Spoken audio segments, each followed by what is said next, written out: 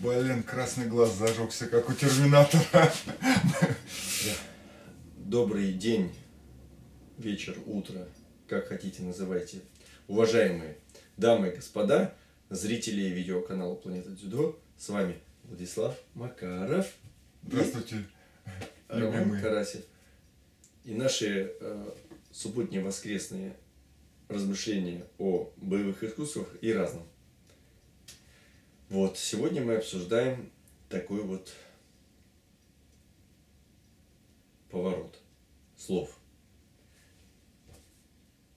Не путать принцип и средства.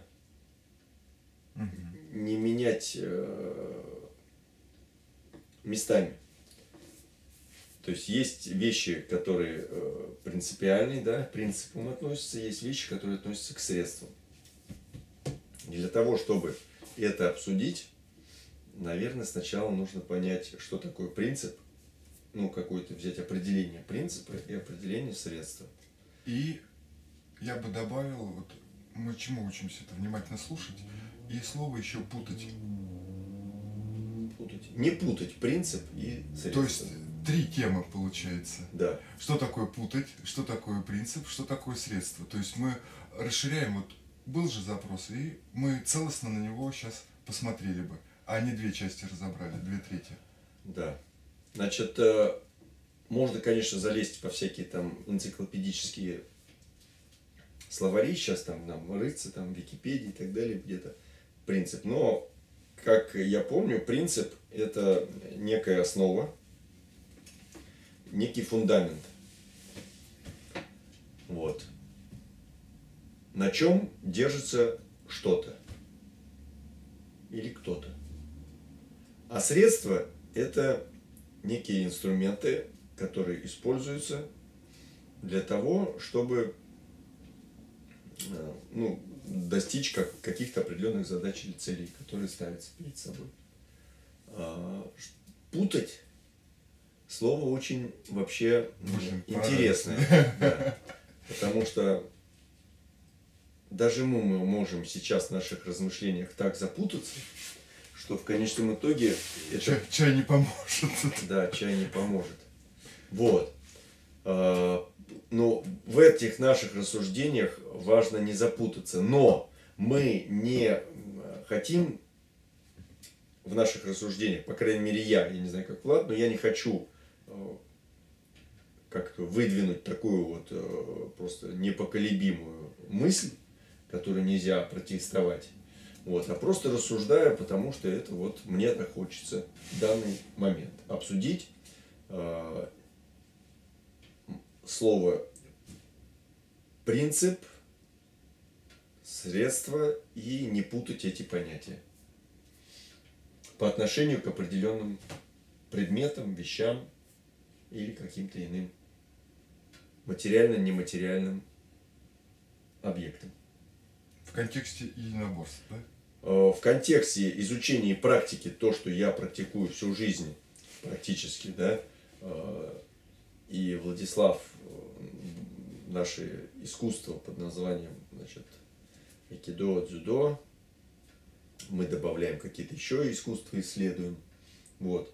И, конечно, нашей ежедневной жизни, потому что мы, как говорится, мы же живем в социуме, мы не можем из него отделиться. Поэтому даже если мы будем отделяться, все равно вокруг нас будут окружать какие-то э, Люди, птицы, предметы. люди, предметы, Которые на природа, нас влияют. которые на нас влияют. Вот. Поэтому мы вот это вот в этом контексте все хотим Плаваем. плавать. Вот. Владислав, Я. Но хотелось бы еще раз поздороваться, да, Роман выразить благодарность. И тут мы тоже обсуждали чуть-чуть. Андрей Рыжекин пост в Фейсбуке выставил, что, ребята, если вы там практикуете йогу, да, и у вас ничего не получается, но вы делаете это эпизодически. И прям вот разложил вот эти слова, я даже перепостил это все, что вы не практикуете йогу, вы ее пробуете. А Роман пошел еще дальше.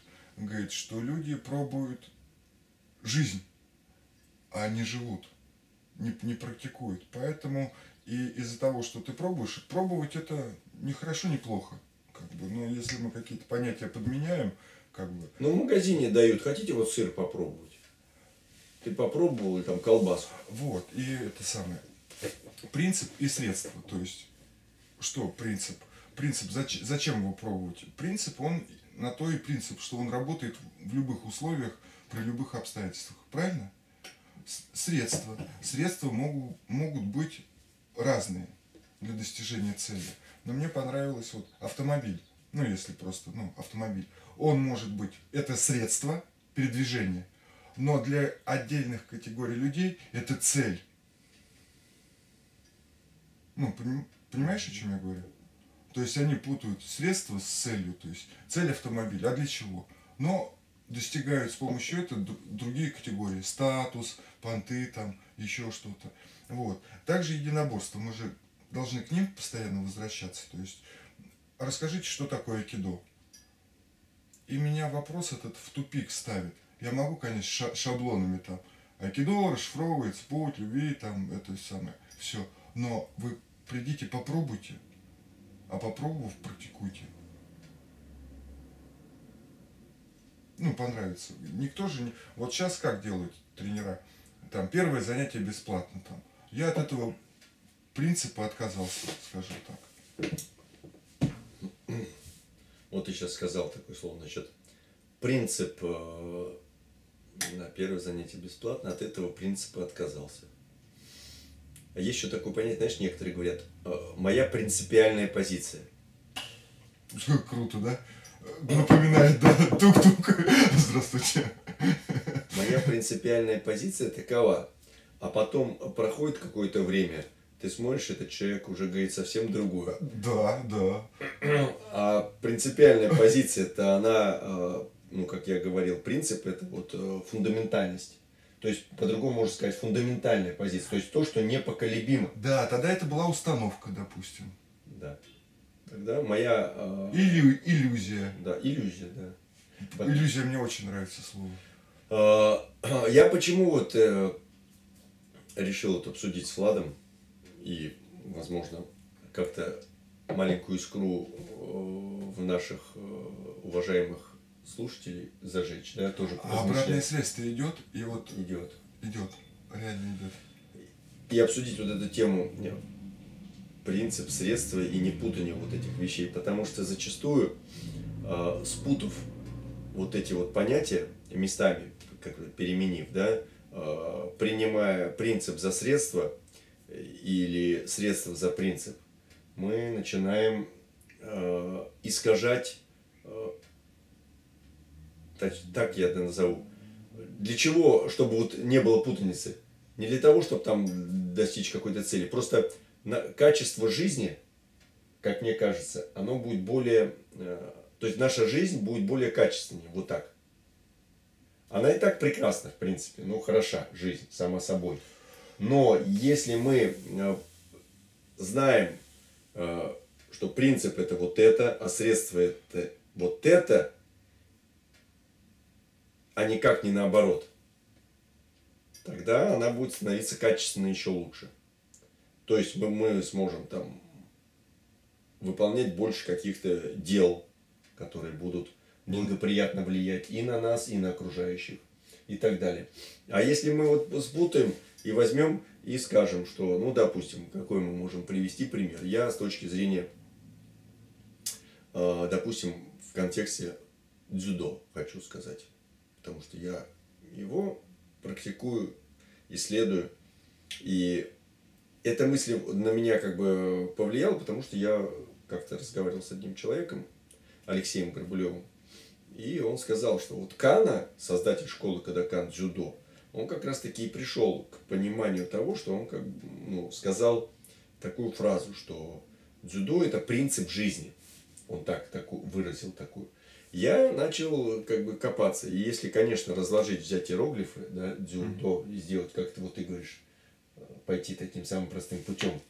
А иногда бывает самый простой путь, самый... э, С виду, да? Ну да, он как бы вроде бы самый простой путь, но на самом деле ты начинаешь, вот он, вот он, а, когда, а потом ты туда окунаешься, и там такая глубина. Да. Вот э, дзю, мягкость, да, гибкость, и до, путь. То есть мы э, И он говорит, это принцип жизни. И я стал задумываться, а на самом деле, потому что, помнишь, мы обсуждали, все, что необходимо, это легко. То есть, если мы рождаемся, это вот легкий такой процесс. То есть, это вот мягкость пути. То есть, все, что нам дается абсолютно легко, все, что нам дается непринужденно, это и есть вот этот вот э, мягкость, это и есть дзюдо. То есть, принцип жизни, его основа. Можно по-другому, конечно, подходить. Но сегодня используют дзюдо э, как некий олимпийский вид спорта, и уже получился переворот. Уже дзюдо как средство стало. Дзюдо используют как средство для того, чтобы достижение результата там олимпийского золота. Или борьба за золото очень или э, для того, чтобы ну как бы там повысить свой ну, статус в обществе, да, дзюдо используют э, как-то себя вот так возвысить и, и так далее. А на самом деле получается так, хорошо, если дзюдо это средство, тогда какой же принцип?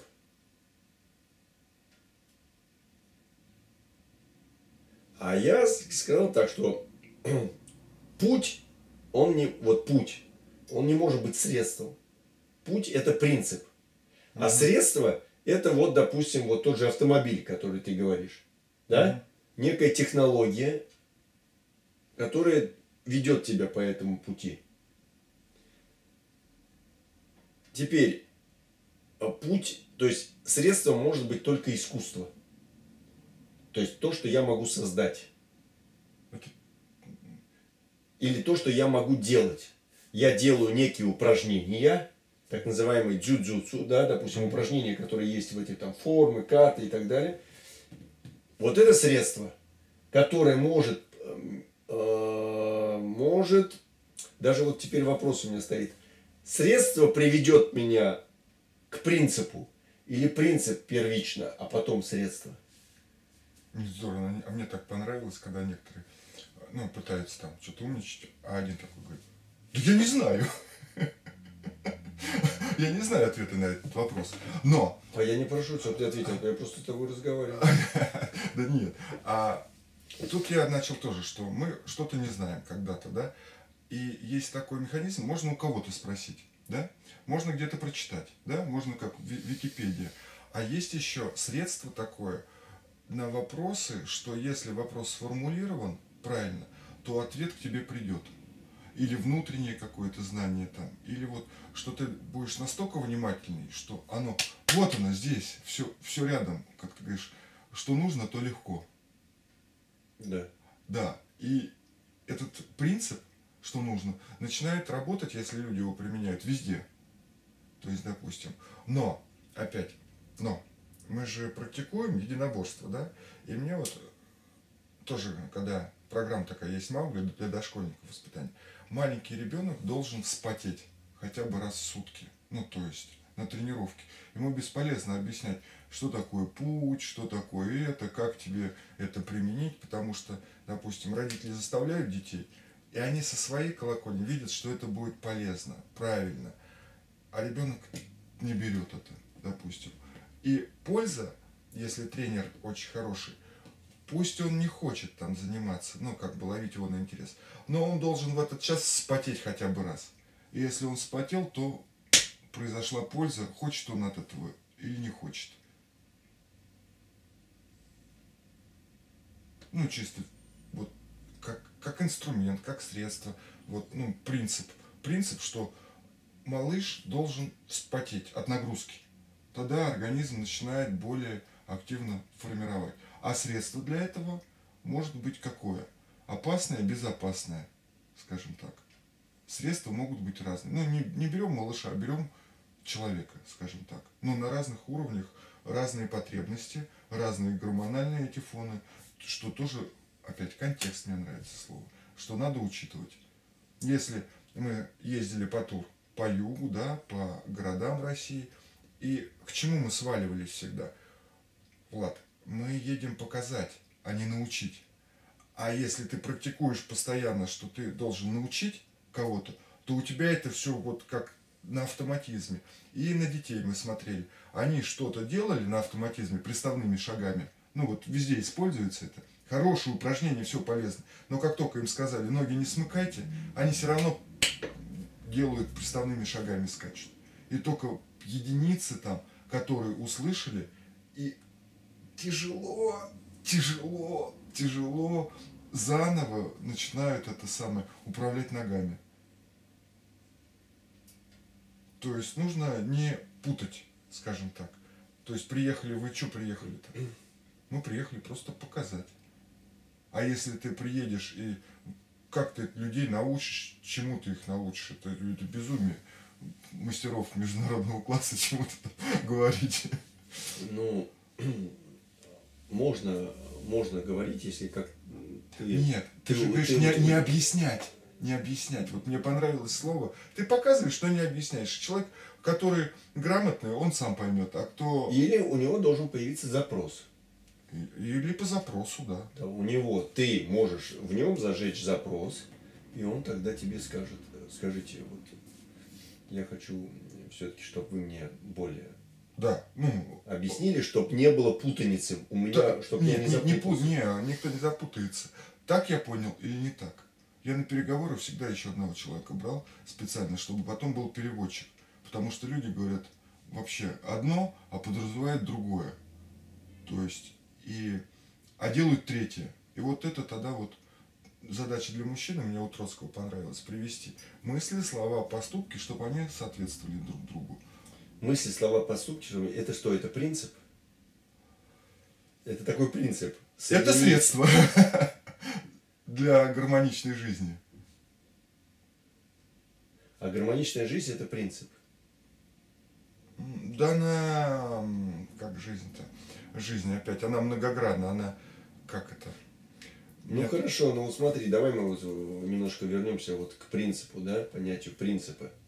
Ну, принцип действия, допустим, это ну, у автомобиля там внутреннее сгорание. То есть принцип, почему он. Ну, это фундаментальность, да. Только потому что есть вот такой принцип, двигатель начинает работать и вырабатывать некую энергию. Да, и мы его раскладываем, что.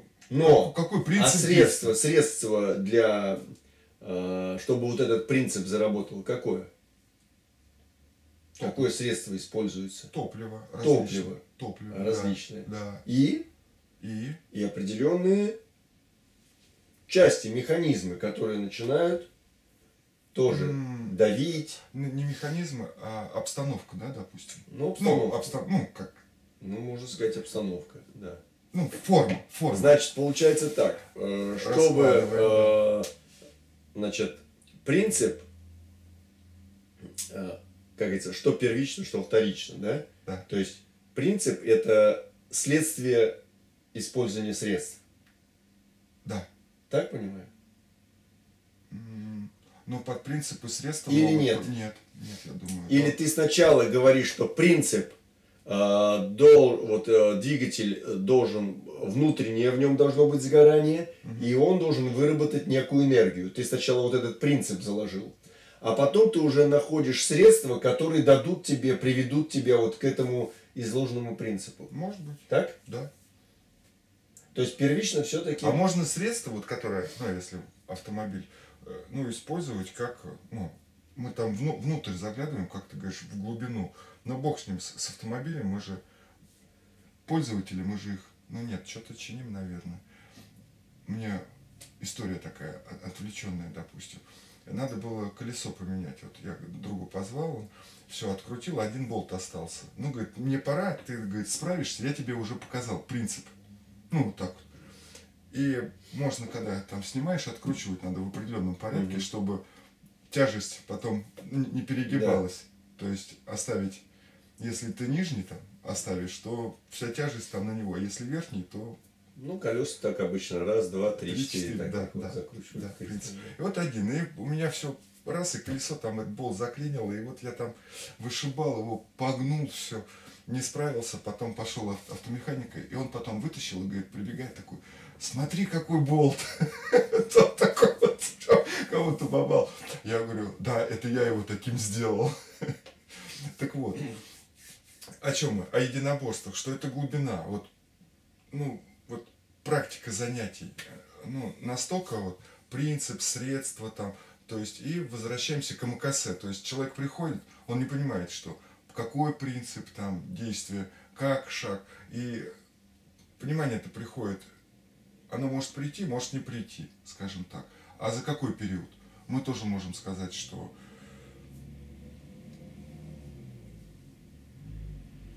вот у меня как инсайты были, там занимаешься, ты говоришь, во, я все понял. Потом начинаешь еще дальше, опять ничего не понял, запутался. Ну, как бы, не путать. Опять запутался, опять тренируешься, на следующем уровне еще что-то понимаешь более глубоко, на следующем еще.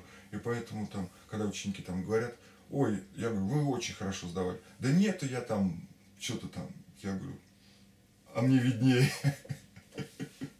Ну, понимаешь как? То есть, ну, оценочно. Путь, принцип, средства запутаться, скажем так. Ну, есть еще такое, э, ну, в человеческом языке люди придумали, чтобы объяснить какие-то явления. Это же все-таки человек придумал для чего? Чтобы объяснить некоторые явления. Ну, то есть он дал некоторым явлениям название. То есть вот как. А кто дал название? Вот. Ну, человек, наверное, он ну, может вот слова придумал. Раз дзюдо, это же японское. Ну, это японский язык, который в конце концов ну, переводится, объясняется, хотя тоже вот непонятно, как это его объяснили. Правильно, и про Библию мне понравилось. Я вот только для меня Библия, отлично. Я говорю, а на каком языке ты читала? На русском. А писалась она на каком языке? Да. То есть ты уже интерпретацию кого-то воспринимаешь за истину. Ну, если, если так глобально. И также айкидо, оно какое бывает? Оно бывает разное. Потому что тренер в айкидо... Айкидо приходит... меняется под влиянием культуры. Да, но вот языка, у нас был да. тренер, который шестой дан по дзюдо, и потом перешел в айкидо. Икеда, кстати. Очень, очень хороший тренер. Переехал в Швейцарию, там тренировал. Программа, сейчас ну, по ней работаем. Ну, супер. И он трансформировал, у него же пласт какой, дзюдо, там сколько-то там, много лет занятий, и перешел потом в айкидо. И накладывает, а потом у другого сенсея тоже занимались, который занимался фехтованием сначала, а потом в айкидо перешел. И он объясняет это. Но есть еще тренера, которые занимаются карате, потом в айкидо перешли. И они тоже трактуют чуть-чуть через призму свою. А кто-то просто чисто айкидо занимался, но тогда не хватает какого-то элемента вот этой вот борьбы что ты можешь бессознательно. Ударки не хватает. То есть все, ну, принцип триединства по воздуху, по мешку и по человеку. Вот где здесь принцип? Принцип, что должно соблюдаться вот это триединство, скажем так. Если какой-то элемент выпадает, ну, то цель, ну, а какая цель? Ну, смотри, мы смотрим сейчас, видишь, можно же рассматривать принципы, средства в разных моментах. Можно в частности и можно в общем. В частности, применительно какому-то либо объекту или вещам, или, или искусству. Мы берем, допустим, искусство вождения ну, автомобиля, и в, в нем даем определенные принципы, и средства. На этом средстве, да. Надо ездить вот так вот, да? А можем в глобальном масштабе. И опять Рустам не хватает, да. Он говорит, от общего к частному, да, от частного да, к общему. От общего к частному, да. Но э, все-таки я возвращаюсь к моменту такому, что ни в коем случае для меня, по крайней мере, стало понятно, я об этом сначала не задумывался, что не путать э, вот эти вот слова или хотя бы их понимание, что принцип это принцип, средство это средство. И путаницы не должно быть. Путаница приведет к тому, что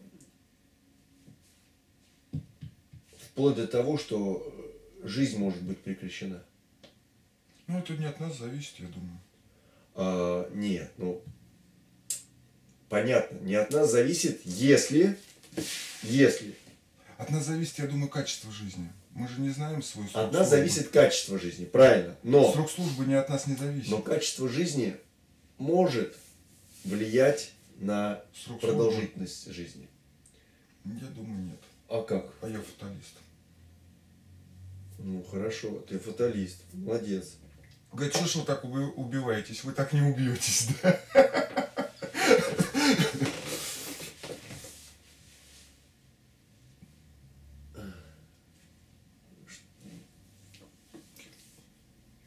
Я молчу, практикую. Да, Принцип. молчания. Принцип молчания.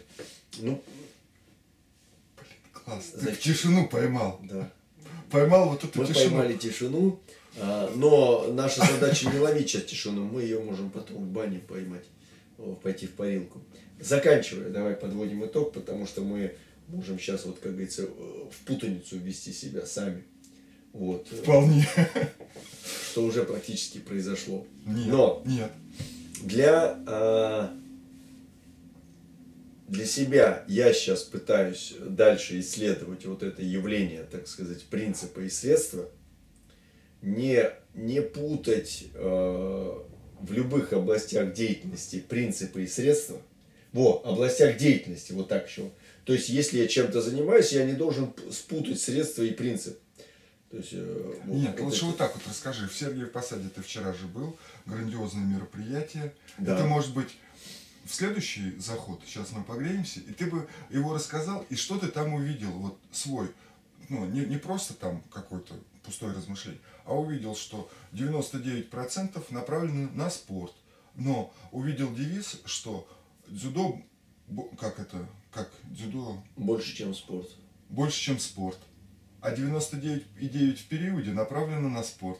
А где вот эти сотые проценты, которые Ну, влияют? тем более, если это больше. Больше. То есть Значит, ты, ты- ты увидел несоответствие, что происходит с девизом. там. Да, поэтому Какой- принцип, какой-то- принцип, изложенный здесь, И у тебя не прям соответствует со средствами, используемые для достижения этого принципа. ну, был девиз, и как бы и, и было действие, и оно не соответствовало девизу. Ну, э, Ну, нет, смотри. оно было отличное, спортивное, но быстрее, выше, сильнее. да, Это принцип, это девиз и принцип да, э, олимпийского движения. да.